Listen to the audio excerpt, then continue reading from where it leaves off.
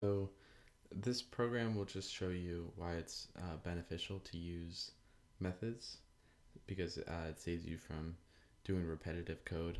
Um, so just as an example, I'll do int hours to system dot print out dot out print enter a value between 0 and 23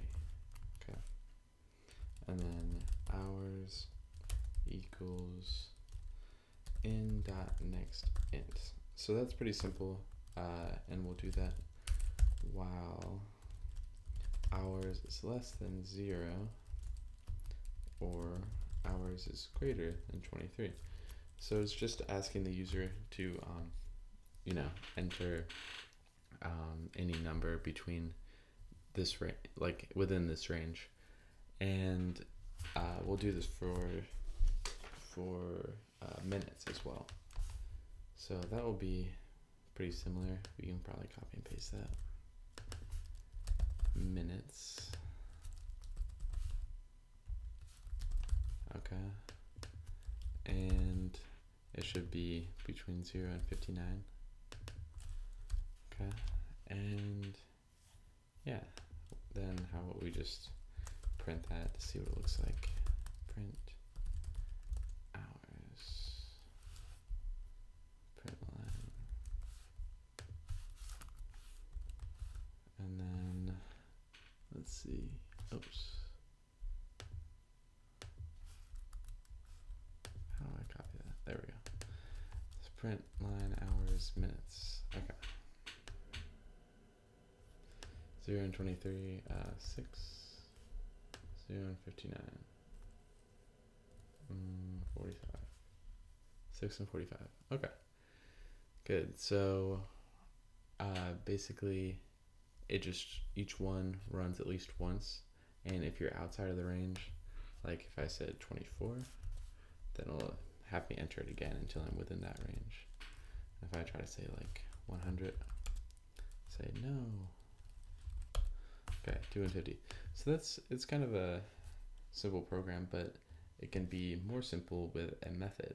So what we'll do is make a new method and it will be outside of the main one here. So we'll do public static int because the return variable is an int integer and read int between and the parameter variables are int low, int high. So int input, what the user enters, and then uh, scanner in equals new scanner system dot in. So we need to use this line again. Um, and wait, am I outside of main? Yeah. So what is this error for? Okay.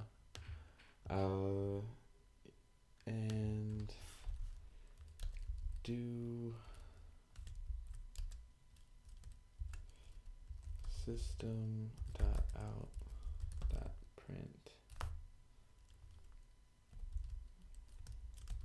enter a value between and then this way the user can enter the their own uh, range, so there's more flexibility. Plus, okay, and input equals next, no, in dot next int. Okay, and this will run while input is less than low or input is greater than high. And return input. So this is why it was getting an error up here. It's because it was just saying um, you're asking for a for a return type of an int. So it's just trying to find the int. And that's where it is right here. So um, yeah this is just uh, an easier way of running the the code. So now we can do read int between Okay, and then uh, let's do five and 500 or five and 50. Okay, and I'll just comment these out. We don't need to, or we can just comment all of this out. Don't really need that. So enter value between 5 and 50, 10. Did that work? Well, I think maybe it would be helpful to uh, to print something out here. So system dot out print input. Okay. 10, 10, okay. Um, let's try again. One, no, two, three, 100, seven, yeah, seven's between five and 50. And now it's, it's really flexible because you can do this for any, any range. Uh, so let's do 50 and 150.